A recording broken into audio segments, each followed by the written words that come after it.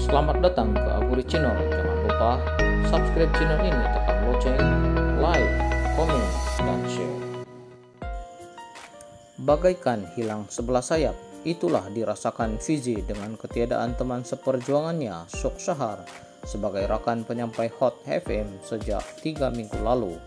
Perkhidmatan Sok masih lagi digantung sejak 25 Januari lalu Berikutan isu pergulakan semula rumah tangga yang tular disebabkan pendedahan istrinya berhubung kecurangannya dengan seorang wanita dalam laman sosial.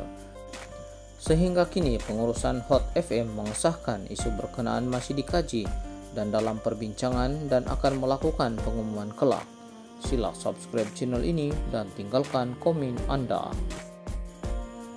Mengulas ketiadaan syok, Fiji berkata dia merasakan kekosongan karena Shock adalah rakan seperjuangannya paling lama bekerja sama di Konti Hot FM. Saya dan Shock sudah lebih lima tahun bersama. Jujurnya memang terasa apabila Shock tiada seperti sebelah sayap hilang. Kami selesa bersama dan hubungan juga rapat. Tetapi tidak mengapalah kita doakan yang baik-baik buat Shock. Sebagai rakan baik, saya tidak hak untuk campur urusan pribadinya.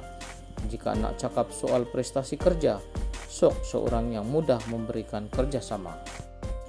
Sementara itu, Fizi kembali ke udara melalui segmen Geng Pagi Hot. Mulai semalam bersama teman penyampai terbaru stasiun radio itu, Mark Adam. Semoga kita semua terhibur di Geng Pagi Hot. Sekian terima kasih kepada Anda semua. Jangan lupa like, komen, dan subscribe channel ini.